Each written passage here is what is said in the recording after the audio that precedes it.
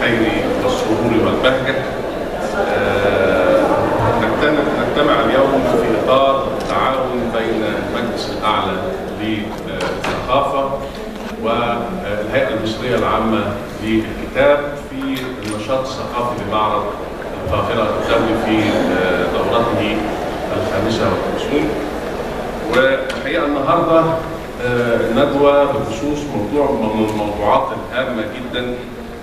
وهي بعنوان الصناعات الثقافية والتنمية المستدامة.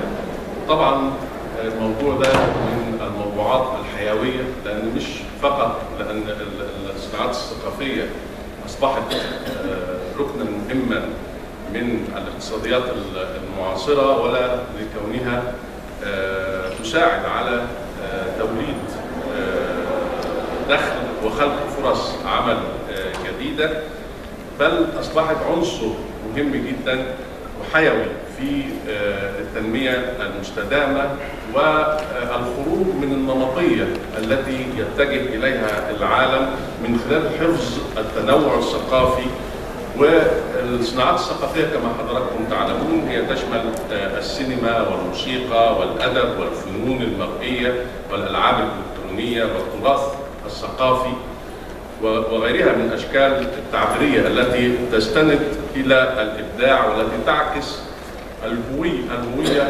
الثقافية للمجتمعات. الحقيقة معانا النهارده أساتذة متخصصين الأستاذة الدكتورة ميرفت أبو عوف أستاذ الصحافة والإعلام بالجامعة الأمريكية والخبيرة الإعلامية في في تشريعات واستراتيجيات الإعلام وعضو لجنة السينما بالمجلس الأعلى للثقافة أهلا بحضرتك. آه، الدكتور آه، طارق صالح أستاذ بكليه الفنون التطبيقية جامعة حلوان وعضو لجنة التراث الثقافي غير المادي آه، آه، بالمجلس الأعلى للثقافة والحقيقة له يعني تجارب تطبيقية يعني نتمنى أن إحنا النهارده نسمع عنها ونستعرضها. الدكتور أستاذ الدكتور عثمان أحمد عثمان أستاذ الاقتصاد السياسي بكليه الاقتصاد والعلوم السياسيه بجامعه القاهرة. عضو لجنة الاقتصاد والعلوم السياسية بالمجلس الأعلى للثقافة الدكتور عبد الله محمد نور الدين مدير الملكية الفكرية بشركه الينس للمحاماة. الاينس الاينس للمحاماة والاستشارات القانونية وعضو لجنة حماية الملكية الفكرية. أهلا بحضراتكم واهلا بحضراتكم الحضور الكريم. آه، نبدأ آه، مع الدكتورة ميرفت آه، أبو عوف. تفضلي يا فندم.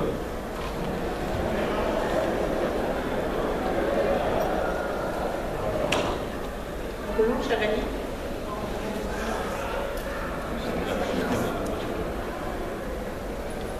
آه، اولا آه، أنا سعيدة جدا جدا إن أنا أبقى في وسط النخبة دي بجد شرف عظيم ليا.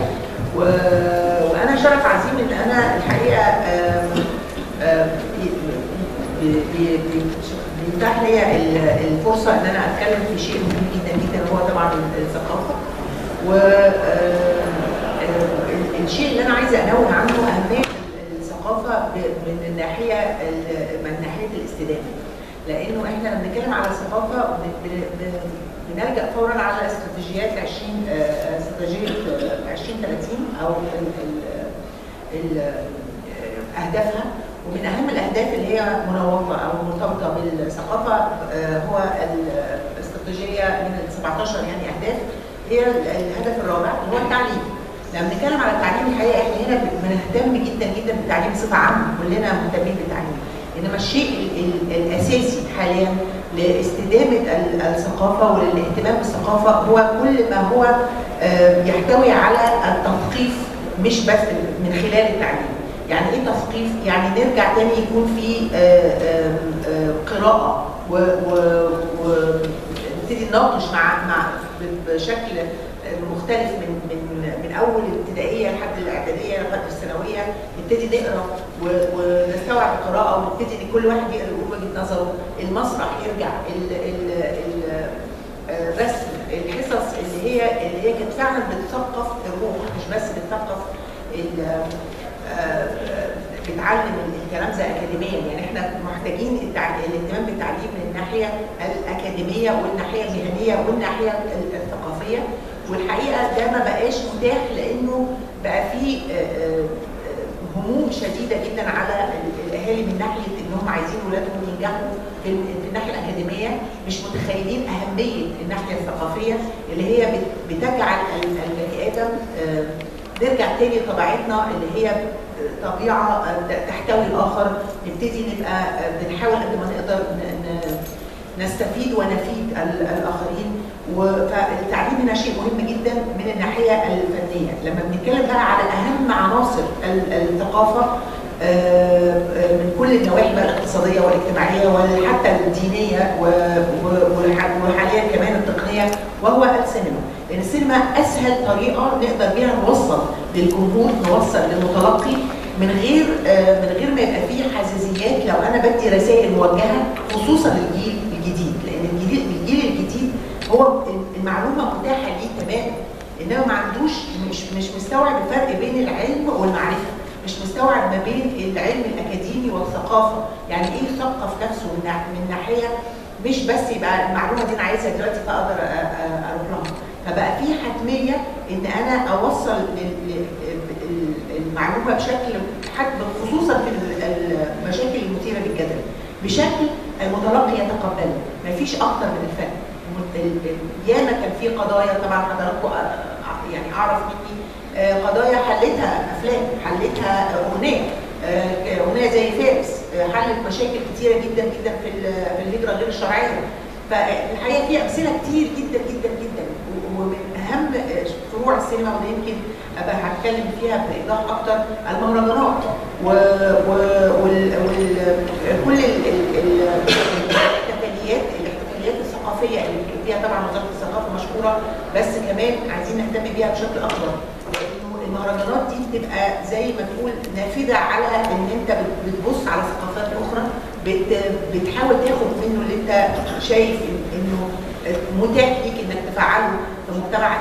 وتحاول قد ما تقدر ما تناقش مش تمنع تناقش ال- ال- اللي غير متاح فيعني دي قصة طويلة جدا جدا جدا بس الاستدامة هنا إن أنا مش بس بهتم بما هو متاح دلوقتي وبحاول أحافظ عليه في جيلي ده لا أنا بحاول قد ما أقدر أحافظ عليه للأجيال القادمة. مش حتى الأجيال حضراتكم اللي هو حاليا برضه متحملين مسؤولية معانا بس الأجيال اللي لسه مع مش قادرين حتى نتخيل زمانهم هيبقى عامل إزاي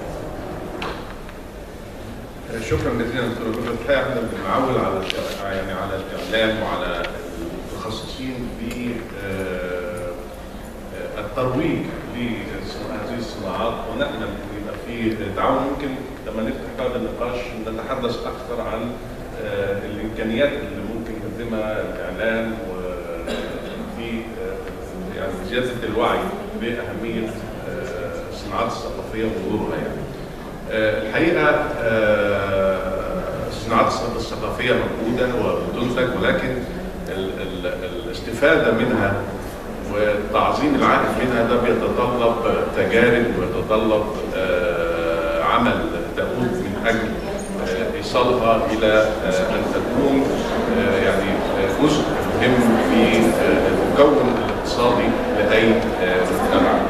فيعني نستمع إلى تجربه من التجارب الرائده في الاستفادة من آه، الصناعات الإبداعية ومحاولة دمجها في آه، الاقتصاد الاقتصاد المصري.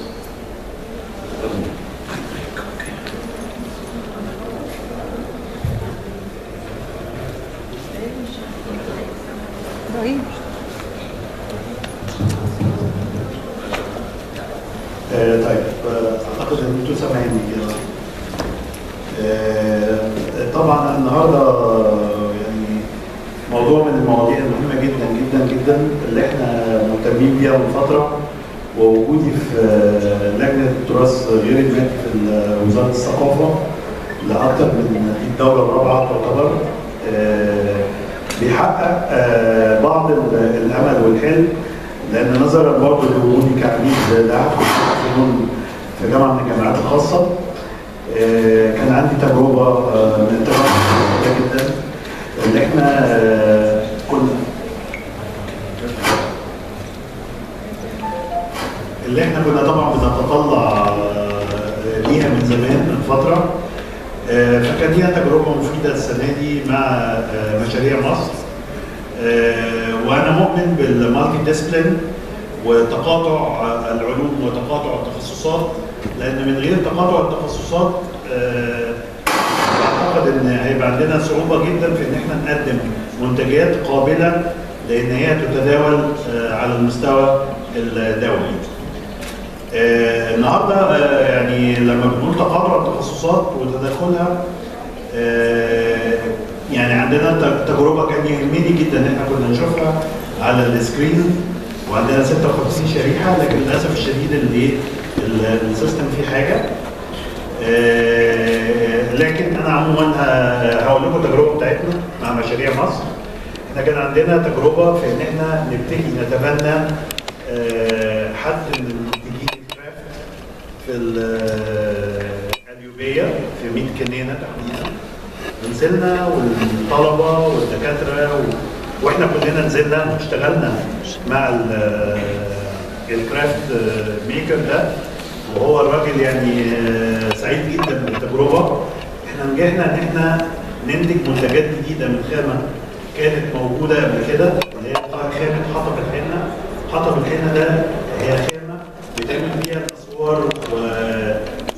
والشادوز والحاجات في بعض الايه الأم- القرى السياحية وكده لكن لم لم نتطرق ابدا إن إحنا ننتج منها منتجات.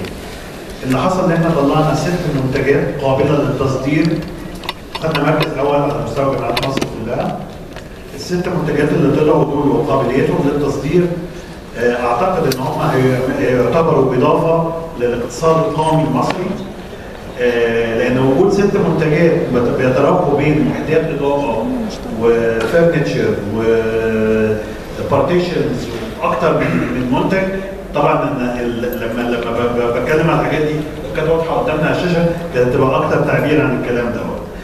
آه، لكن آه، أعتقد إن إحنا شغلنا كان على ال materials نفسها على الخامة نفسها مع ال- مع صانعي آه، آه، أو المتعاملين. مع الخامة دي أحد المتعاملين منهم. ونجحنا إن إحنا نبتدي نشتغل على إنتاج منتجات جديدة تماما على هذا النوع من الخامات. ودوت آه، أتاح الفرصة لإن إحنا دلوقتي مع مشاريع مصر عملنا promoting كمان وعملنا marketing system وعملنا يعني كل ما هو خاص و branding لل- للكلام دوت هو ده اللي بينقصنا. هو ده اللي بينقصنا إن إحنا عشان نصدر صناعاتنا الثقافية لازم صناعاتنا الثقافية تكون بشكل لائق يتوافق مع المتطلبات الدولية عموما. آه، وتوافق الكلام ده مع المنتجات الدولية. ما ينفعش إن أنا أحط products وأنا كنت في معرض من المعارض في لاس فيجاس وعديت على الجناح المصري آه، بشكل يعني إيه سريع جدا ومنتظم لأن ال- ال- ال- الشغل اللي كان موجود مش up to the level بتاع المنتجات الثانية فأنا كنت غيور جدا على إن إحنا إزاي إن إحنا نقدر نطلع بالمنتجات بتاعتنا بشكل لائق يليق بمصر ويليق بتحويل المنتج ال- الثقافي المصري إلى منتج اقتصادي يسهم في العائد القومي بتاع مصر. آه، طبعا آه، في تجارب كثيره أنا شفتها. شفت المغرب عندهم تجربة أكثر من رائدة في موضوع ال- الكرافت وكده وهم من من من آه، أحد أهم مصادر الدخل القومي في المغرب دلوقتي هي ال- المنتجات ال- ال- الحرف اليدوية المغربية. وفي دور كبير جدا بتلعبه المكاتب التجارية لسفارات المغرب في في الدول الأوروبية عموما وألمانيا بشكل خاص. بانها إزاي بتعمل عن عملية انفستيجيشن السوق ده طالب إيه؟ السوق ده عايز إيه؟ وكده بيرجعوا بيعملوا تغذية عكسية نفس اللي كانت بتعمله الصين زمان لما كانت بتعمل ال trade spy وبتنزل وبتاخد الحاجة فالمغاربة برضو قدروا إن هم يعملوا الكلام دوت وفي سكوت وهدوء تام قدروا إن هم يتحركوا ويتحركوا ويحركوا الاقتصاد القومي بتاعهم لاتجاه أعتقد ان إحنا لازم إن إحنا نبص في الاتجاه دوت زملاء آه، آه، إن تعدد وتداخل التخصصات مهم جدا لأن إحنا مثلا لما نتعامل مع منتجات زي حطب الحنه ركزنا على إن هي إزاي تبقى ايكو فريندلي عشان تبقى قابلة للتصدير لل- للدول ال- الأخرى وكده وتتوافق مع المعايير ال- الأوروبية والدولية في التعامل مع المنتجات. آه، بشكركم جدا وبشكر المنصه طبعا بشكر الدكتور آه، محمد أحمد مرسي ابن أستاذي الغالي الاستاذ الدكتور أحمد مرسي رحمة الله عليه. جزيل جزيل الشكر لحضرتك. آه، الحقيقة آه، التجارب دي مهمة لأن آه، هي اللي بتمهد للوصول إلى آه، اكبر آه، مساحه آه، ممكنه و- و- و- وامكانيه دمج هذا المنتج الثقافي و آه، المحتوى الثقافي اللي آه، ضروري إن إحنا آه، يبقى عندنا ريادة آه، فيه. وأنا بتكلم بقى هنا يعني تاكيدا على كلام الأستاذ الدكتور طارق إن التخصصات أو آه، تفاعل التخصصات مهم لأن أنا أنا تخصصي علوم سياسية. فأنا مركز على ضرورة إن بصمه الهوية المصرية والعربية تكون موجودة وممثلة في مثل هذه آه، المنتجات دي الشخصيه ال- ال- أو شخصيتنا اللي لازم تكون مشاركة يعني في نظام عالمي وليس نظام عولمة يعني يبقى في تعددية وفي تنوع وفي مساحة لنقدر نعبر آه، عن آه، منتجنا الثقافي أو نعبر من خلال هذا المنتج عن شخصيتنا وعن. طبعا ده كله بيتطلب آه، حماية. آه، وبدون حماية وبدون تسجيل لهذه العناصر آه، والحقيقة آه، وزارة الثقافة واللجان المتخصصة قامت بدور كبير والجمعيات الأهلية أيضا قامت بدور كبير في تسجيل بعض العناصر. ولكن هل هذا يكفي أم يجب؟ يعني العمل أكثر وأكثر من أجل حماية هذه المنتجات؟ والحفاظ آه، عليها. مع آه، الدكتور آه، عبد الله محمد يعني يا ريت حضرتك تكلمنا عن هذه الجزئية تحديدا. مساء الخير على حضراتكم سعيد جدا إن أنا موجود مع حضراتكم مع اساتذتنا كبار آه، على منصة واحدة شيء يسعدنا ويشرفنا والحقيقة إن المساله المتعلقه بالصناعات الثقافية والتنميه المستدامه هو موضوع مش جديد هو جديد قديم آه، لأن الفكرة طرحت من القرن الماضي ولكن تم تبنيها من الأمم المتحدة حديثا في سنة 2015 وتم إطلاق آه، هذا الأمر آه، علشان نقدر نوفر زي ما هي الدكتورة رفعت وضحت نوفر للجيل اللي جاي واللي بعده حياة أكثر يعني تكون أفضل ليهم ونقدر نوفر لهم برضو بعض الأمور المتعلقة بالاصول بتاعتها اللي يقدر يوفر لهم حياة كريمة. الحقيقة ان الصناعات الثقافية آه، ليها جوانب عده ليها جانب اجتماعي ليها جانب ثقافي ليها جانب اقتصادي فزي ما دكتور محمد تفضل وقال ان تشكيل الهوية آه، للشعب المصري وللشعوب الأخرى وتأثرها بالثقافة المصرية هو أمر في منتهى الأهمية. والصناعات الثقافية لها بتلعب دور كبير جدا في هذا الأمر. أيضا ال- ال- ال- المردود الاقتصادي والصناعات الثقافية أصبحت من ال- الصناعات الأكثر رواجا والأكثر آه، محاور بتدر دخل على الدول. فالحقيقة لما نيجي نقول إن مثلا في التجربة الكورية الصناعات الثقافية حققت ليها 15 مليار دولار خلال عام 22 ووزاره الثقافة الكورية بتحضر خطة علشان تقدر تحضر 25 تبقى 25 مليار دولار بحلول عام 2027 الأمر اختلف عن زمان اللي كنا بنفتكر. بنعتقد إن الصناعات الثقافية هو أمر يعني مكمل. لما نيجي نتكلم إن الصين بقت بتحقق 60 مليار دولار مردود اقتصادي ومالي للدولة الصينية من الصناعات الثقافية ودي كلها تقارير دولية نقدر نوصل لها. هذا الأمر يبلغ بالاهميه إن إحنا نركز معاه. لما يبقى بيشكل 6.8 من عشرة من إجمالي الدخل بتاع الدولة هو أمر لافت للنظر. الامر لم يعد زي سابق إن إحنا بنعتقد إن الصناعات الثقافية قاصرة على الحرف اليدوية أو السينما والإذاعة والموسيقى فقط، الأمر تدخل فيما أبعد من ذلك. في مثلا معايا دكتوره في آه، مسلسل كان بيعرض في مسلسل رعب كان بيعرض في كوريا تم اتعمل ليه لعبة فيديو جيم فيديو جيم ابتدى الاطفال بقوا بيطلبوا اللعب دي في شكل ألعاب. فاذا ابتدى إن يغذي الثقافة من أول الطفل لحد البالغين. فهذا دور الاجتماع. يجي بقى دور الملكية الفكرية لأن إحنا هنتكلم عليه. دور الملكية الفكرية فيما يتعلق بالصناعات الثقافية. الحقيقة إن الملكيه الفكريه بتخش في كل المحاور المتعلقة بالجوانب المتعلقة بالصناعات الثقافية. ولكن إحنا هنتكلم على جزئين جزء المدخلات وجزء المخرجات. المدخلات المتعلقة بالصناعات الثقافية إيه اللي بيستخدم علشان يطلع لنا منتج ثقافي مختلف؟ وإيه اللي بيخرج من هذا المنتج ممكن إن إحنا نستغله ويتم حمايته من خلال آليات حقوق الملكية الفكرية. الحقيقة إن الملكية الفكرية ليها قسمين رئيسيين هي الملكية الصناعية والملكية الأدبية والفنية. الملكية الصناعية بتتعلق ببراءات الاختراع، نماذج المنفعة، الرسوم والنماذج الصناعية، العلامات التجارية، التصميمات الصناعية، الأصناف النباتية، كل هذه الأمور تدخل تحت قسم الأول الملكية الصناعية. أيضا عندنا الملكية الأدبية والفنية لها محورين رئيسيين وهي حق المؤلف والحقوق الحقوق المجاورة ويأتي معها التراث الثقافي غير المالي. الحقيقة إن كل المدخلات أعتقد إنها تكون مرتكزه على الملكية الأدبية والفنية.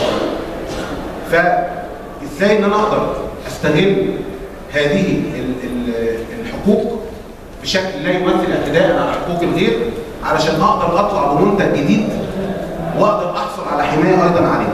فاذا إحنا بصدد لو بنتكلم عن الملكيه الادبيه والفنيه عندنا مصنفات لا تزال في مدة الحماية لأن مدة الحماية في القانون المصري هي طول حياة المؤلف و50 سنة بعد وفاته. فعندنا مصنفات لا تزال في مدة الحماية عندنا مصنفات انتهت مدة حمايتها اللي هي مصنفات الملك العام وعندنا المنتجات أو الأعمال أو الأمور المتعلقة بالتراث الثقافي غير المادي. هذه الأمور في منتهى الأهمية ولها مكانة كبرى في مجال الصناعات الثقافيه. لو أنا دلوقتي هاخد مصنفات لا تزال في مدة الحمايه، إزاي إن أنا أقدر أستغل مصنف لا يزال في مدة الحمايه؟ إن أنا ألجأ إلى الشخص صاحب هذا المصنف أستصدر منه ترخيص باستغلال علشان أقدر إن أنا أستغل هذا المصنف في المصنفات الجديدة اللي أنا عايز أعملها. طب لو سقط في الملك العام أو مصنفات أو أعمال التراث الثقافي غير المادي بيأتي هنا دور حتى الآن وفقا للقانون المصري حقوق الملكية الفكرية رقم 82 سنة 2002 بيأتي دور وزارة الثقافة. وزارة الثقافة هي لها اليد في مباشرة الحقوق الأدبية والمالية. الحقوق الأدبية تتعلق بشخص المؤلف أو هنا بنتكلم لو بنتكلم عن التراث الثقافي غير المادي اصحاب التراث. فدور وزارة الثقافة بياتي في ان هي اللي تصدر تراخيص بالاستغلال فتقول والله حضرتك عايز تعمل تستغل هذا الأمر ليك إنك تاخد ترخيص بمقابل محدد وفقا للائحة لائحة لائحة الغذاء القانوني. بعد كده أقدر إن أنا أعمل المنتج اللي أنا عايزه وأطلع منتج جديد له حماية وفقا لآليات الملكية الفكرية. سواء كان بقى ملكيه صناعيه لأنه ممكن يمثل براءة اختراع ممكن يمثل نموذج منفعة من الممكن يحصل على علامه تجاريه فاللوجو بتاع الشركة أو الاسم بتاع الشركة يسجل يسجل كعلامه تجاريه. أيضا من الممكن المخرجات كنت بتفاضل مع معالي الدكتور طارق بنتكلم قبل عقد الندوة فبنقول إن في مخرجات قد تمثل تصميمات صناعية وقد تمثل أكثر من نظام قانوني مع بعض. كل هذه هذه المخرجات إن ممكن إنها تحمى وتحفظ حقوق المالك وتحفظ حقوق الدولة المصريه.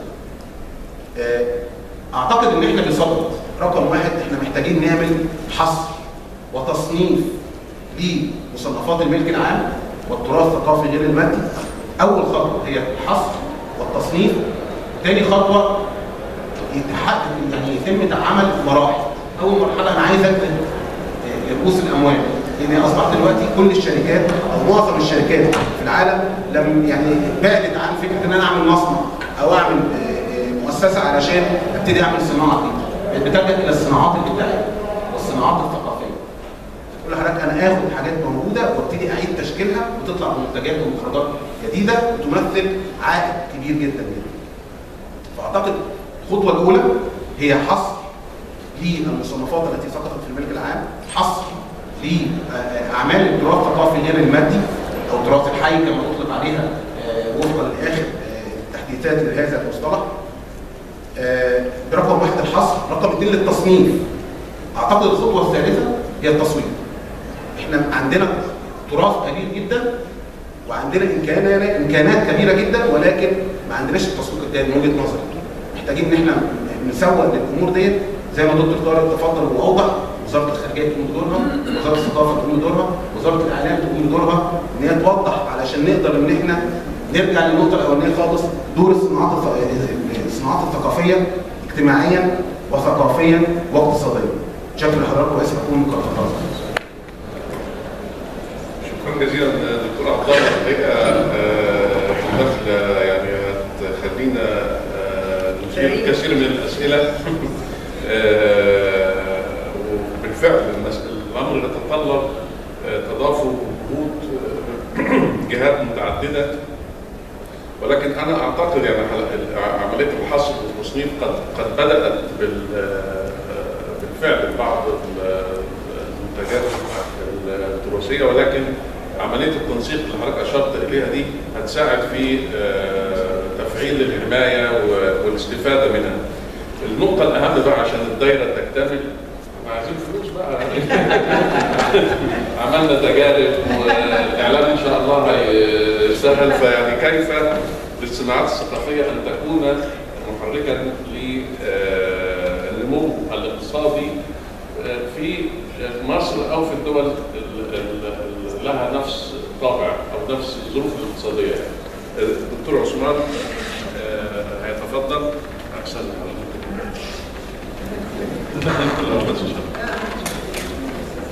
تفضل. بسم الله الرحمن الرحيم. طبعا موضوع الصناعات الثقافية والتنمية المستدامة من اهم الموضوعات المطروحة على الساحة العالمية.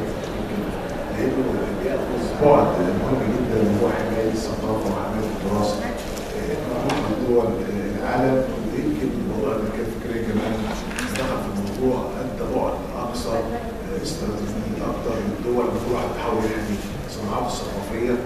يمكن آه، زي ما طارق تدخل العلوم وال- والانواع المختلفه في الثقافه بنتكلم من الناحيه الاعلاميه من الناحيه الفكريه من ناحيه الثقافة المادية أو الثقافة غير المادية. طبعا الوضع السياسي والوضع الاقتصادي دايما نقول إن الثقافة هي القوه الناعمة، والقوه الناعمة مش معناها إن هي ما بتجيبش ايرادات بالعكس هي بتجيب ايرادات وجود بالفعل احياء اقتصادي. طبعا صحيح إن الصناعات الثقافية في العالم لا تتجاوز دخل بتاعها 10% من للدول في دول قدرت تحقق ارقام ضخمه من هذا الناتج ومصر كانت برضه عندها رؤية في هذا الموضوع. يمكن كما قال السبيل عن آه، الدكتور عبد الله كان بيتكلم عن الصناعات الثقافية في الصين وأمريكا. لا، لأن في أمريكا مثلا الصناعات الثقافية الناتج الاجمالي ليها. هنا بيدخلوا هنا في الصناعات الثقافية بيدخلوا السينما والمسرح والنشر وبيدخلوا كمان السياحة اللي قايمه على الصناعات الثقافية. دخل حوالي 756 مليار دولار. لا الصين مثلا على سبيل المثال دخلها الاجمالي حوالي 575 مليار دولار. رقم ضخم جدا. مصر السينما بس بتدخل 36 مليار دولار. هنيجي مثلا دولة زي فرنسا هنلاقي متحف اللوفر وبرج إيفل بيدخل 6% من الناتج الاجمالي لفرنسا تلاقي الصناعات الثقافيه بتدخل 44 مليار يورو ده رقم ضخم جدا هل مصر ما كانتش بعيدة عن كده؟ هل الاقتصاد المصري ما كانش واضح؟ يمكن مجال الحملة الفرنسية عملت توثيق للتراث المصري والحياة الاجتماعية في كتاب وصف مصر.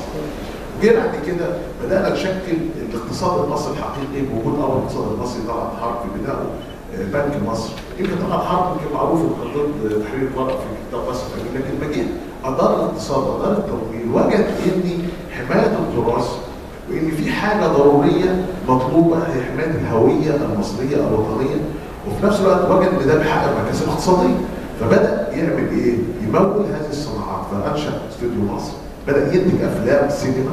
بدأ ينتج أغاني لأم كلثوم. وكان هنا هدفه إحياء اللغة العربية وإحياء التراث العربي الاصيل والكلمات وتهذيب الشعور وتهذيب الآداب العامة والأخلاق العامة للناس اللي بيسمعوا شعر عربي بصوت حلو.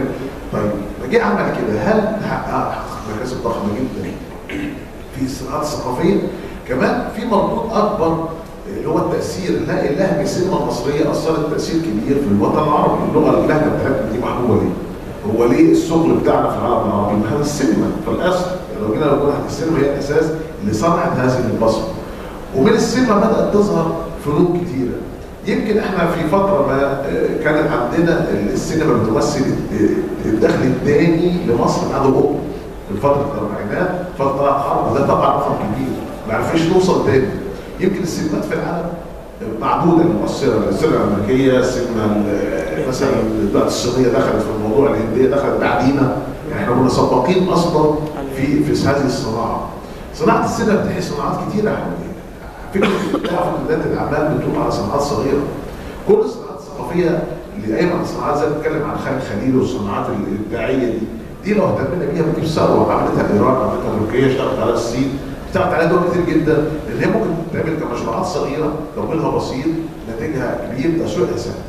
فكرة التمويل والتسويق هم الفكرتين المسيطرين في الاقتصاد، فكرة التمويل لو إحنا بدأنا نشجع المشروعات الصغيرة الابداعيه دي تمويلها بسيط تمويلها محدود، مشروعات ممكن مشاريع مصر زي ما قال الدكتور طارق ممكن بعض الأفكار البسيطة جدا للجروب حاجات بسيطة. لكن فكرة التسويق. التسويق هنا محتاج جودة محتاج ان السلع تكون لها جوده اللي هي معايير.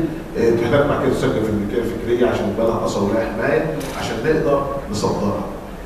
للأسف إحنا دايما بنعتمد على الدولة في فكره التسويق ودي المشكلة الأساسية للصناعات والثقافة الابداعيه المصرية إن إحنا بعد الستينات لما تمويل السينما وبدا اللي هي العمل السينما حصل إيه؟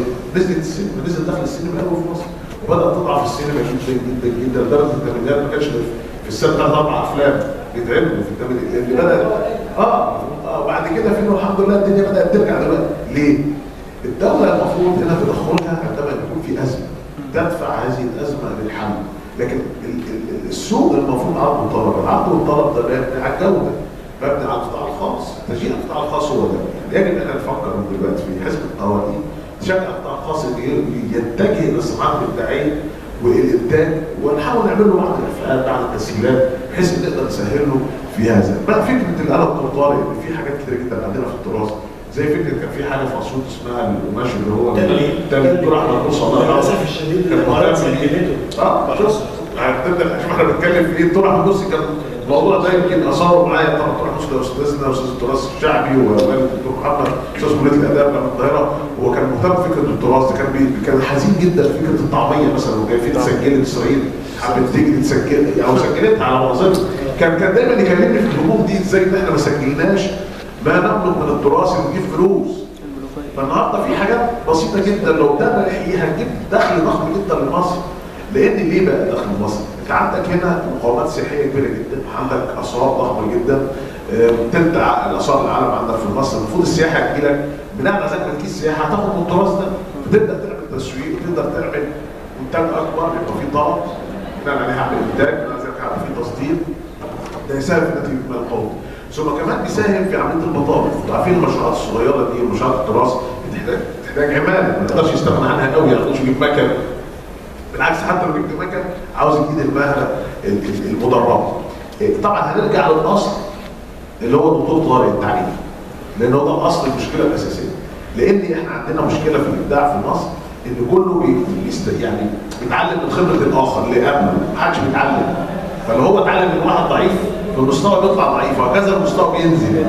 لأن مفيش مؤسسات آه، تعلم الحرف والمهن والحاجات اللي فيها ابداع قلت جدا. حتى لما أتكلم عن الشعر والأدب والحاجات دي برضه بيجيب فلوس على فكرة مش بتجيبش. يعني الطباعة والنشر مثلا في أمريكا لما بنتكلم بيجيب بيجيب يعني معدي مثلا 70 مليار. فبنتكلم في أرقام ضخمة. طب الإبداع ده إزاي نعلم الناس الشعر صح والأدب صح؟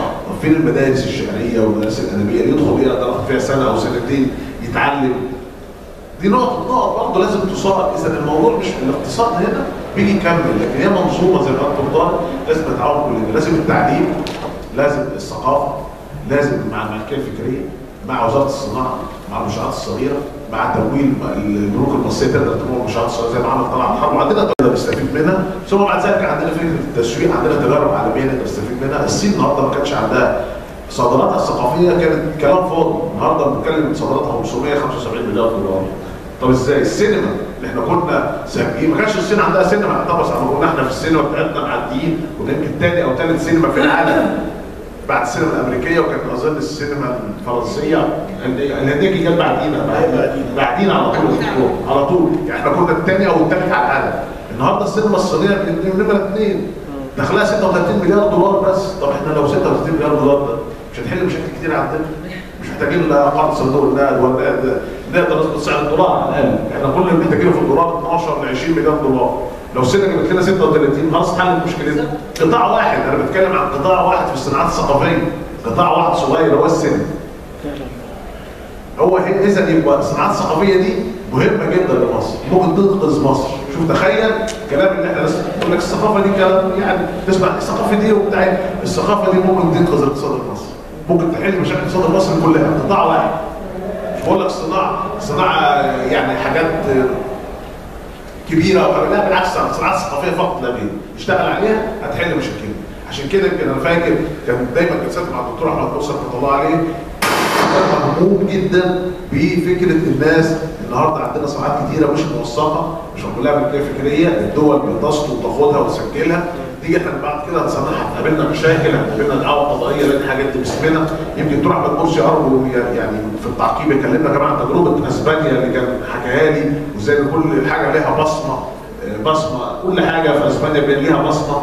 كتاب مصر مصر الحرب الفرنسية كان عامل كده. لو إحنا بدانا نعمل الموضوع ده بتاع أسبانيا هيفرق معانا كتير. أنا بشكركم وطبعا سعيد جدا في هذه الندوة الجميلة والشيقة وسعيد بالزملاء اتكلموا. والدكتور أحمد مرسي كلمنا برضه عن فكرة أسبانيا. أرجو نستفيد بيها مع مصر شكرا. جزيل الشكر لحضرتك. هو بالفعل يعني وحضرتك صحح لي الاقتصاد بيتطلب أن يكون هناك ثقة. ولكي يكون هناك ثقة لابد من استراتيجية واضحة للاستفادة من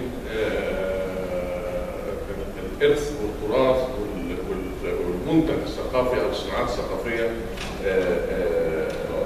المصرية. الحقيقة في دول كتير زي ما حضرتك اتفضلت تحولت إلى براند إلى ماركه منها إيطاليا على سبيل المثال وإسبانيا اللي هي يعني حتى الدول اللي تفتقر إلى منتج ثقافي ابتدت تخترع لها منتجات ثقافية والأشياء البسيطة اللي إحنا يعني قد نتغافل عنها. أصبح لها مردود وعائد مادي كبير جدا جدا جدا. زي ما تفضل الدكتور عثمان وقال إن مثلا في التجربه الإسبانية صناعة الجبن. رغم إنها مش مشهورة في في إسبانيا وأكثر شهرة في فرنسا إنما الطرق التقليدية. ابتدوا يبيعوا الطرق الطرق التقليدية أو يسوقوا الطرق التقليديه لصناعة الجبن. ويدعوا لزيارة المناطق في مواسم صناعة الجبن. ابتدى هذه القرى بتستخدم طريقه محلية لصناعة نوع من أنواع الغذاء. أصبح لها طلب للزيارة مش لشراء الجبنة لا للبقاء أثناء عملية صناعة الجبنة نفسها لأن في ناس كتير يعني ما عندهاش بتروح بتشتري الجبنه من السوبر من السوبر ماركت ومش عارفة الجبنة دي بتتعمل إزاي أو بقى في شغف إن أنا أعرف إزاي أصنع المنتج المنتج ده.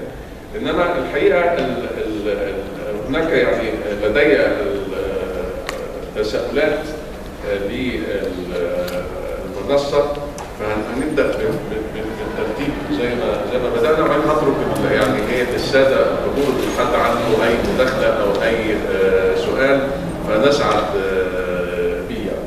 الحقيقة أنا يعني كان كان نفسي أسمع عن يعني الآليات اللي ممكن أن يتعاون بها القطاع الاعلامي في مساعدة أو في في ترسيخ القيم اللي تحافظ على هذا المنتج وتعطي له قيمة لدى الناس.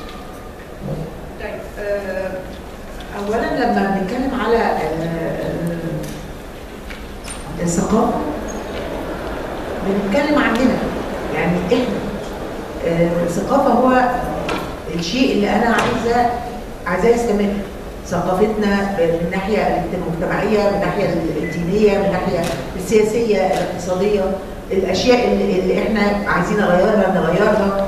فمن هنا الثقافة جزء لا يتجزأ يعني محدش فينا بيقول لازم نهتم بالثقافة من ناحية إنها مش موجودة. إنما ال- الثقافة بشكل نمطي أو بشكل متاخد كأنه take it for يعني ده شيء بديهي وهيبقى متواجد واستدامته موصوف منها سبب إنه مش حقيقي. بدليل إن بقى في انفتاح شديد من المنصات ومن كل الأشياء اللي حاليا من يعني خصوصا الإعلام الإلكتروني اللي أدى إلى إنه آه، آه، ال- ال- المتاح أصبح ملوش حدود. وفي في فئة عمرية في منتهى الخطورة لأن أنت ما عندكش ال- ال- اللي تقدر تقيس بيه وتقارن بيه. يعني في زماننا أنا يعني موجودة في الثمانينات من القرن الماضي الحقيقة كان كنت كل اللي أنا بقدر يعني في في تجارب في في ثقافات بقدر أقارن بيها. إنما في الجيل ده أو الجيل القادم مفيش ده. فمن هنا التنمية المستدامة أصبحت حتمية إن الثقافات دي تبقى مرسخة بشكل محبب للشباب. ومفيش شكل محبب للشباب أكتر من القوى الناعمة. على رأسها السينما. أو هذا ما أبدعه. لأن السينما آه، بتوثق الأشياء بشكل إيجابي.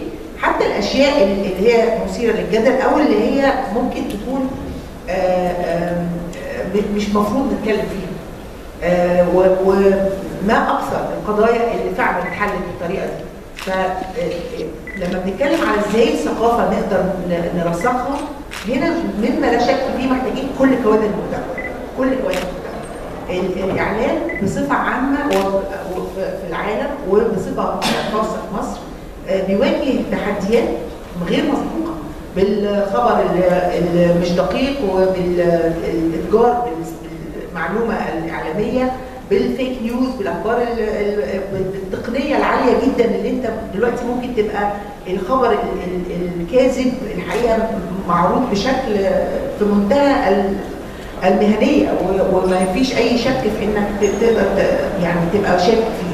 إنما آه، آه، فمنظومة الإعلام بصفة عامة محتاجة اعاده ثقة الشعب فيها لأن كلنا الحقيقة ما بقيناش عارفين نثق في إيه ومين الجهة اللي نثق فيها؟ ال- الإعلام أصبح واضح تماما إن كل إعلام في كل دولة ليه أجندات. الأجندات أصبحت شيء متقبل. إنما أجندات لإيه؟ أجندات لإثارة الجدل ولا أجندات لإثارة البلبلة والاخبار الكاذبة والفتن والكراهية والاختلافات؟ ولا أجندات للتنميه والإحساس بال بال بال بالانتماء والإحساس بالمواطنة وكل ما هو إيجابي. أنا ما عنديش مشاكل خالص يبقى في أجندة زي الأجندة اللي أهلي كانوا عاملينها في البيت لأنه في الآخر الأجندة دي إنهم بيحاولوا يخلونا أحسن ناس. نفس الفكرة. الأجندة الإعلامية أصبحت مع الأسف آه، في في الزمن الحالي ده متاحة. وده مخلي دور الإعلام آه، إنه يساعد الثقافه ما بقاش شيء إيجابي قوي الحقيقة أو ما بقاش سهل آه، زي الأول. وإعلام الدولة محتاج يعني مقا... يعني محتاج حقيقي شغل كتير جدا جدا جدا عشان يجابه الكومبيتيشن الرهيب اللي موجود في العالم. آه، وفي نفس الوقت ال- ال- الصناعة نرجع لصناعة السينما. صناعة السينما محتاجة دعم الدولة. الدولة مسؤولة مش إنها تدعمها ماديا. الدولة مسؤولة إن يبقى في ريادة سياسية حقيقية بأهمية هذا ال- ال- المجال في إنه ي...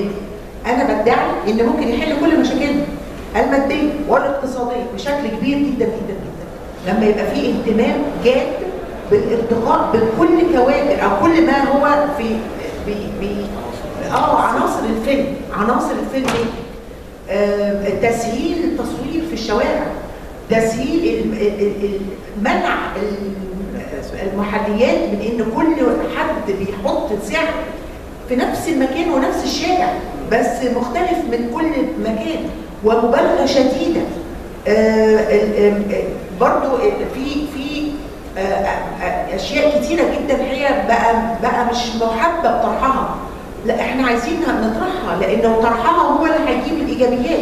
لما أطرح إنه يعني إيه ختان النساء دي جريمة وجريمة تغلظ لما كان من من من تو ديكيدز اجو كده كان ممنوع تتكلم عنها مفيش حاجة اسمها كان كأنك بتتكلم في شيء آه، في منتهى الخطورة. برضه اختلاف الآراء بما يخص مثلا الأديان. يعني أنا دلوقتي حد ب- الأديان ليها تفسيرات. لما يبقى حد م- عظيم وفوق راسي. إنما أنا النوع ده من التفسير أنا أفضل عن التفسير ده. زي المذاهب ده مش معناه إن أنا بزدري اديان أنا ليا الحق إني أقول رأيي لأنه الآراء بتختلف. إنما ده مش ده مش منزل ده مش قرآن. ده مش مش حديث نبوي. إحنا بنؤمن بيه.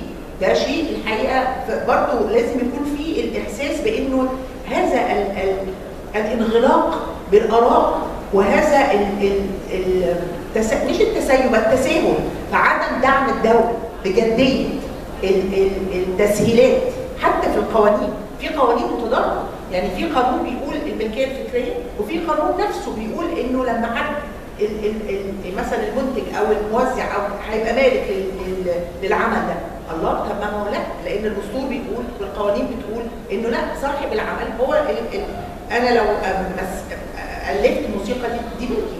ملكيتي الفكرية أنا. فلما يجي قانون تاني يقول لا ده مش هتبقى ملكيه فكريه تحت بنود مختلفة. ده شيء برضه محتاج آه، تغييرات فلكسبيليتي في, إنك تقدر تغير هذه الأمور. فاحنا الصناعة الحقيقة واقعة ما بين آه، آه، مشكلتين. المشكلة الأولى إنه من ناحيه من ناحية الكونتنت من ناحية المحتوى هي تحت وزارة الثقافه بكل طبعا الرقابه بكل الأشياء اللي إحنا الحقيقة برضو نحب جدا نبقى نبقى على دراية بيها عشان نقدر ننمي الهوية عشان نقدر نوضح انه إنه لما يعني بدون ذكر أسامي لما يبقى في إعلان موجه من شخص عشان ال- ال- البعد عن ال- الإدمان مثلا وشخص تاني نفس الإعلان ونلاقي ال- الشخص ده أعلى من الشخص ده ده هنا في مشكلة لأنه ده معناه إنه بقينا بقينا إحنا كشعب آه، بنبص على أشياء ما كانتش في ثقافتنا. ما كانتش ما كانش فيه النوع ده من ال ال ال السلبيات اللي أصبحت إيجابيات اللي أصبحت آه، شيء روش. فالمعلم لما يطلع المعلم عبارة عن مكان آه، قصدي شخص فيه تريقة وتريقة تضحك يعني أبلة انشراح آه، عظيمه وتضحك جدا. إنما أبلة انشراح دي بتتريق على المدرسين. فبقى في كمان لو إحنا مهتمين بالتعليم يعني مهتمين مهتمين مهتمين بالتثقيف يعني مهتمين بالسينما مهتمين بكل ما زي ما حضرتك قلت ما هياش ما هياش بس صناعة السينما. آه، في صناعات تانية كتير. والصناعات دي بتصديرها إحنا كنا عايشين بتصدير صناعة السينما. دلوقتي بقى في كم هائل من من دول زي زي الدول اللي كلنا عارفينها عارف- عارفينهم. بقى في كومبيتيشن عالي جدا وده شيء ده شيء إيجابي. إنما في نفس الوقت ده بيوري حتميا إن إحنا ما بقيناش على الساحة بس. وإن إحنا بقينا في في محك إنه الصناعة دي محتاجة دعم جاد. مش دعم الدولة عليها اعباء كفاية عليها إنما الدعم بإنها تسهل كل ما هو يرتقي بهذه الصناعة. من من من ناحية من ناحية الجزء المحتوى والجزء اللي يقع بقى في اتحاد الصناعات إن صناعة السينما ملهاش أي دعوة بالصناعات الأخرى. ليها طبيعة مختصة ما ينفعش تتحط بنفس الابلكيشن اللي أنا بملي فيها شروط معينة. عشان تصوير فيلم هي نفس ال- ال- ال- الشريحة اللي بعمل فيها مثلا آه، حديد وصلب فدي ده شيء مهم جدا جدا إنه يبقى مؤسسات الدولة فاهمة إن إن هذا يعني إن السينما والقوى الناعمه بصفة عامة ليها طبيعة مختلفة خالص. متاسفه على. آه، شكرا جزيلا لحضرتك هو يعني نخلص في آه، هذا الموضوع إلى إن آه، في فترات أنا يعني ممكن أسميها فترات توفيق اوضاع أو آه، فترات انتقالية لأن العالم بيتغير بوتيرة سريعة جدا جدا وبالتالي مش كل الشعوب مؤهلة إنها آه، تمشي على نفس الخطى اللي سبقتنا فيها دول تانية. وبالتالي من الضروري زي ما آه، قلنا قبل كده يبقى في استراتيجية وإن الدولة تبقى حاضرة لأن العملية التنظيميه في آه، في الفترات الانتقالية أو في فترات توفيق الأوضاع لابد إن يكون لها حاكم معين لحفاظ الآليات وإحنا دورنا إن إحنا نشارك ونساعد في آه، آه، إن الدولة تقوم بدورها خلال الفترات اللي إحنا آه، بنتكلم عليها. أنا الحقيقة التجارب ال- ال- يعني أخشى أخشى أستاذ الدكتور طارق إن عملية تهيئة المنتج خصوصا المنتجات التراثية ال- ال- اللي أنتجها انتجتها الشعوب آه، عبر سنوات طويلة كان لها وظيفه فهل تهيئه هذا المنتج للسوق هيأثر على آه، آه، آه، آه، خصوصيته وعلى ولا ولا هنقدر نحافظ هنقدر إن إحنا نقوم بالدور ده دون فهم المنتج لخصوصيته وعشان كده آه، وعشان كده دكتور محمد كان مهم جدا إن إحنا نشوف المنتجات دي فعلا. ممكن إحنا نشوفها مع بعض بعد ما نخلص يعني كده على على موبايلي يعني وكده. آه، إن إحنا آه، إن إحنا ما أثرناش خالص إيه على المنتج بل بالعكس ال identity أكيد ال identity المصرية زي ما هي.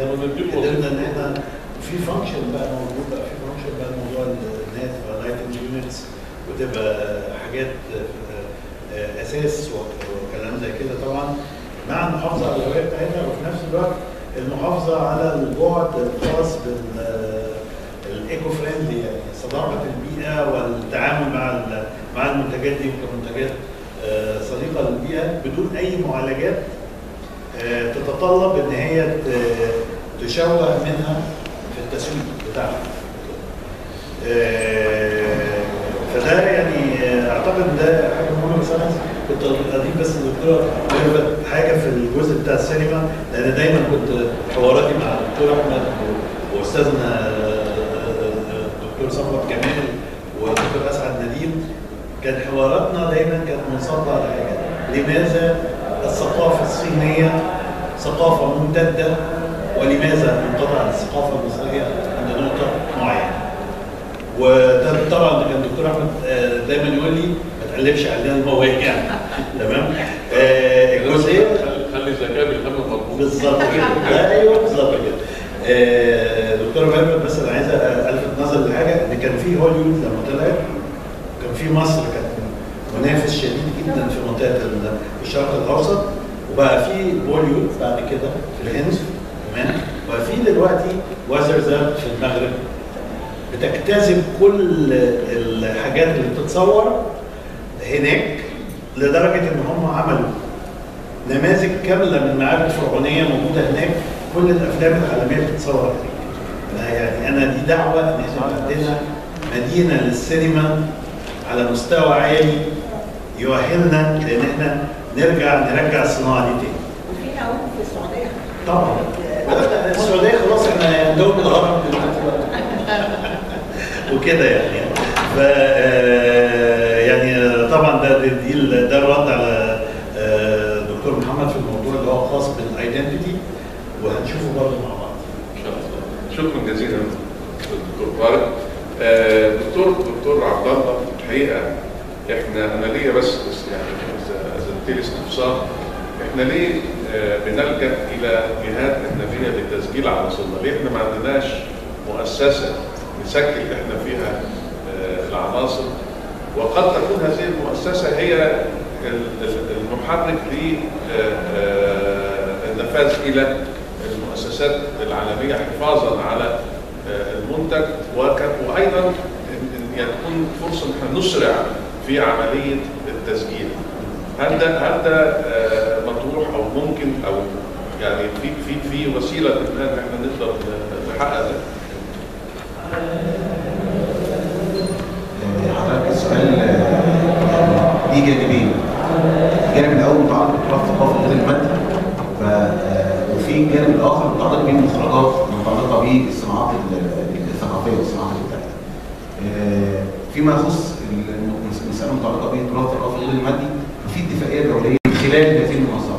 والحقيقة إن في مجهود مصري كبير بيتم آه، لتسجيل العناصر اولا بأول وفي لجنة وطنية بتقوم بدور كبير جدا وطبعا كان استاذنا الدكتور أحمد علي مرسي رحمة الله عليه كان ليه دور عظيم حقيقة في تسجيل عناصر كتير من العناصر اللي تم تسجيلها باسم مصر وفي عناصر جديد يعني مش جديدة يعني أخرى تستحق التسجيل أعتقد إن برضه بهذا بيتعلق بلجنه بتقوم بالدور ده. النقطة الثانية متعلقة بالمخرجات متعلقة بالصناعات الثقافيه. فإحنا عندنا حمايه حماية محليه وحمايه وطنيه وعندنا حمايه دوليه كنا بنتكلم على الدكتور طارق قبل انعقاد بقى الندوه نتكلم ليه أنا لازم ألجأ إلى التسجيل الدولي أو ما شابه.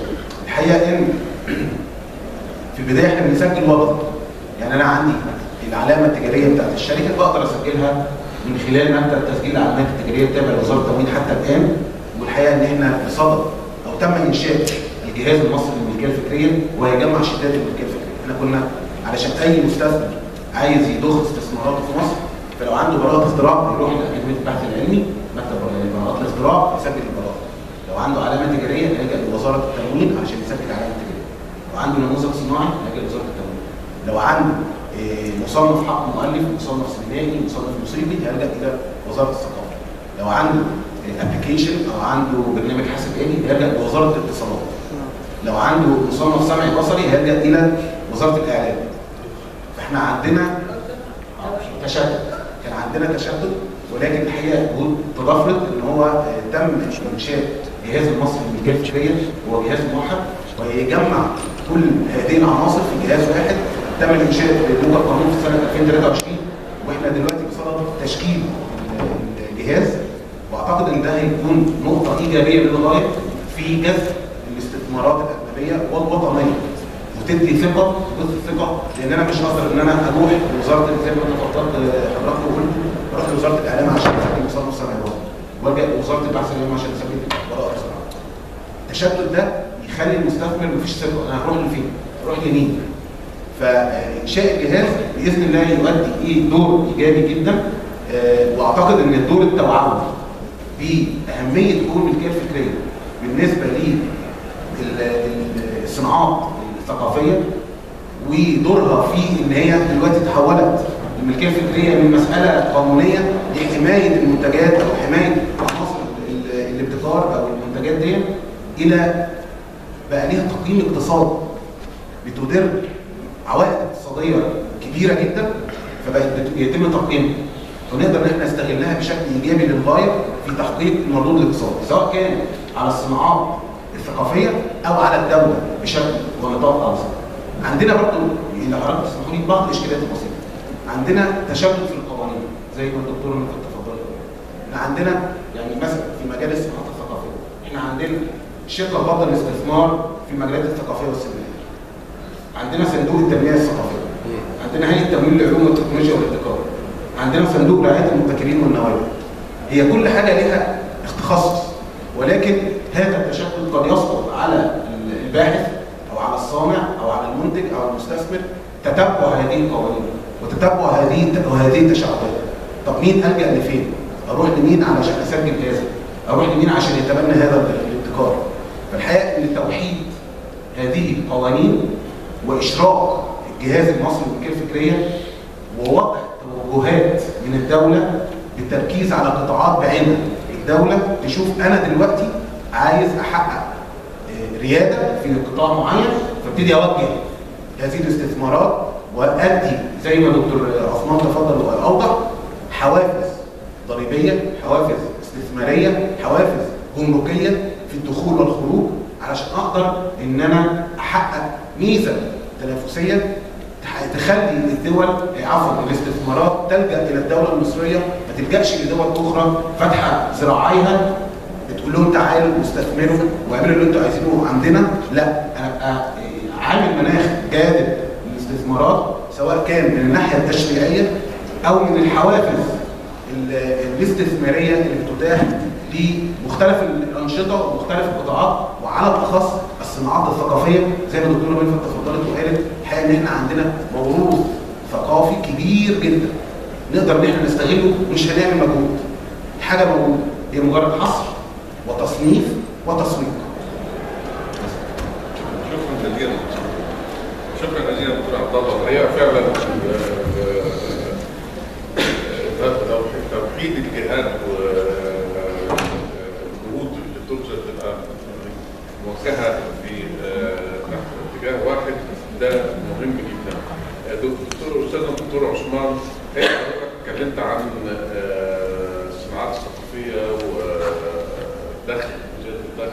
الدخل والانتاج وخلق فرص العمل لكن يبقى ال- ال- ال- ال- الثقة وبناء الثقة. هل في نقاط ممكن حضرتك تقول كيف يمكن بناء الثقة؟ سواء في في الاقتصاديات الجديدة أو الإبداعية. وفي الاقتصاد بصفة عامة على أساس إن ده السبيل الوحيد للنمو آه، للاقتصاد. العالم دلوقتي قرية متشافه ومعروفه مش هنقدر نخبي عنها حاجة أي مستثمر يجي عاوز أول واحد شفافيه انت عارف إن هو ده عارف كل حاجة عارف يدخل إزاي يطلع إزاي يدفع كام القانون المنظمه يقدر يتعاقد مع مين هنا اللي هيبقى مسؤول في مصر يلاقي مكاتب هنا يبقى هي المكتوب بتاعته جهاز له جهاز له كل ما تتطلبه طب الشفافية تيجي إزاي؟ طب في حوكمه طب الحوكمه تيجي إزاي؟ القطاعات الثقافيه القطاعات الثقافيه تبقى موحده في جهه واحدة ده يجي إزاي برضه؟ التشريعات التشريعات تيجي بناء عليه بناء على تيجي بناء عليه استراتيجيه متكامله اذا إحنا محتاجين نرجع الأول استراتيجيه متكامله للصناعات الثقافيه والابداعيه الاستراتيجيه دي المفروض طويله الامد المفروض فيها بعد قصير ومتوسط وطويل عارفين اول نحدد امكانياتنا إيه التحديات اللي إحنا بنواجهها إيه الاليات اللي إحنا الخطه بتاعتنا الياتها إيه مدد التنفيذ في نفس الوقت معروفة وواضحه وصريحة. بناء على ذلك بعمل تشريعات على الاستراتيجيه ثم بعد كده بعمل تسهيلات اقتصادية وجمركيه واستثمارية وتسهيلات زي ما قالت الدكتوره إن المفروض الصناعات البدائيه دي نظام خاص بعيد عن الصناعات العادية خالص. دي حاجة ودي حاجة خالص. فكرة التمويل نفسه تختلف عن الصناعات الأخرى. يعني مثلا إحنا عملنا مشروع بس كان عمل مشروع 200 مليار جنيه المشروعات الصغيره أنا ممكن أخصص 100 مليار جنيه للمشروعات الابداعيه والثقافية الصغيرة بتسهيلات 3% أو 6% إلى آخره بحيث إن أنا بديله فترة سماح زي ما بنعمله بره عشان انمي القطاع ده. طيب بعد ما أجي اعمل خطة واعمل قوانين اليات التنفيذ إذا مهم جدا زي ما قلت عبد الله إن في جهة موحده للجهه الفكرية. كذلك مهم جدا إن الصناعات البدائيه تتعامل مع جهه واحدة مش 500 جهه يعني بيحب ياخد ترخيص ما يروحش التومين ويروح الضرايب ويروح الغرفه التجارية وبعد يروح الحي أو الاداره المحلية ويروح الكهرباء ويروح الامن الصناعي والامن مش عارف. كل ده المفروض هو بيتجه لجهة واحدة بتاع صناعه البدائية تسهل كل حاجة تيسر كل حاجة لأن ده تخصص نادت انت هو الثروة القوميه الحقيقية لمصر المستقبل. يا جماعة العالم كله النهارده بيشتغل في كل القطاعات. إيه الميزة التنافسيه بتاعتك؟ انت كمصر الحاجات بتاعتك الصناعات الابداعيه الثقافيه بتاعتك. لأن كله بيصنع ثلاجات كله بيصنع تلفزيونات كله بيصنع نفس الصناعه بتاعتك. إيه الميزة اللي أنت ممكن تتنافس بيها على المدى الطويل؟ هي الصناعات الابداعيه والثقافيه طيب المستثمر الأجنبي. أنا دايما دايما بقول دايما المستثمر الداخلي الوطني أفضل من الأجنبي وممكن يسعفك بس عاوز برضه إيه؟ عاوز شفافية عاوز وضوح عاوز عاوز عاوز يعرف داخل قطاع إيه يستثمر بكام هيكسب كام هيسوق إزاي. تسهيلات التسويق النهارده يمكن حتى في الكتاب النهارده بيجي حد جايب كتب وجاي يخرج جمرك بيبقى يعني بنقابل مشاكل كتير يقول لك أنا بدفع جمرك قد كده. فممكن يسيب الكتب يعني في كان في حاجات كتيرة جدا تفاصيل التفاصيل. يجب أن تناقش في هذه الاستراتيجية بحيث إن أنا أشجع. نتكلم عن الطباعة والنشر على سبيل المثال. دي حاجة بسيطة. يمكن الناس تقول لك ما تقراش لكن 60% أمريكا بكام؟ 60% أنا اسف هو 60% من الصادرات للصناعات الثقافية المصرية هي كتب فأنا بتكلم بقى بتكلم عن الطباعه والنشر إحنا ما حدش واخد باله منها. فيها مشاكل كتيرة جدا. إحنا لو عملنا عملنا شوية تسهيلات شوية الدنيا دايما يقول لك ما حدش بيقرأ لا لا الكلام ده مش صح. الكلام ده مش صح. تمام؟ آه فيجب إنك أنت إيه تبص تنظر نظرة مختلفة للقضايا بتاعتك. ده مش هينفع الكلام اللي أنا يمكن طول في الكلام عن الصناعة يمكن أنا من الثمانينات بتابع مشاكل الصناعة ورفض الصناعة. مش عارف الراجل اللي بدأ الشعب رمزي اللي مات في مجلس الشعب ودافع عن الصناعة.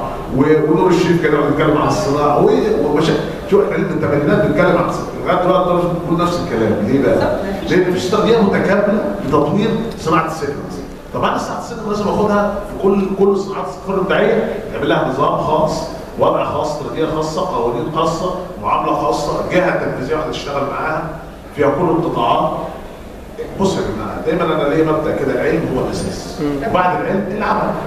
فمهم جدا يكون عندنا ناخد أدوات العلم وننفذها ونطبقها. وبعد كده نشتغل وننفذ هذه الأدوات. هننجح بغير كده مش هو ده الطريق هو ده الطريق الوحيد الصح اللي نقدر نتبعه عشان كده التنمية المستدامة هي بتتكلم عن عمل مستدام مستمر. للأجيال القادمة. مش حاجة آه، يعني زي ما أنتم عارفين النهارده الصناعات الثقيله شوية شوية يقول لك إيه؟ البيئة. فتبص تلاقي واقفه الصناعات الثانية هتلاقي تنافس ذكاء اصطناعي يموت أغلب العماله فتلاقي البطالة آه، زادت إيه الحاجة اللي هي دايمه ومستدامة؟ هي الصناعات الثقافيه بتاعتنا هتقدر تعمل فيلم سينما بدون ممثلين. بدون مونتاج وتصوير ومؤلفين ومبدعين وكهرباء وسيارات ونقل تمام؟ طيب الصناعات الثقافيه دي مش بتجيب إيرادات؟ الايرادات دي بتعمل طلب فعلي طلب بيعمل إنتاج بتشغل غير. الموضوع ابعد مما نتخيل إحنا عندنا فرصة أنا شايفها دلوقتي. فرصة الاتحاد الأفريقي والتجاره التجاره الحره في أفريقيا. عندنا سوق أفريقي عربي لو اشتغلنا عليه بس يكفي حل المشكلة مش هقول لك أوروبا ولا أمريكتين ولا آسيا ولا أنا بتكلم عن الدول العربية والدول الأفريقية. اشتغل بس مصر الفرق بتاعيه عليهم واعمل خطه على كده على الأقل على الأقل أنا متوقع على الأقل ممكن تدخل مصر في المرحلة الأولى 20 مليار دولار. في المرحلة الأولى في أول خمس سنين. بس يعني رقم رقم كبير بالنسبة لو إحنا ضفنا الصادرات بتاعتنا 40 إلى 60 حلت مشكله بالميزان التجاري بتاعنا بين الصادرات والواردات فرق 20 مليار. هم لو اشتغلت على بس على الدول العربية والدول الأفريقية زي ما انت دكتورة ودكتور فكرة المكان اللي بيجي يصور فيه في الأفلام الاجنبيه كان زميل لينا في لجنه الاقتصاد والسياسية دكتور محمد أسعاف والدكتور عبد الفتاح الجبالي رئيس إنتاج الإعلام.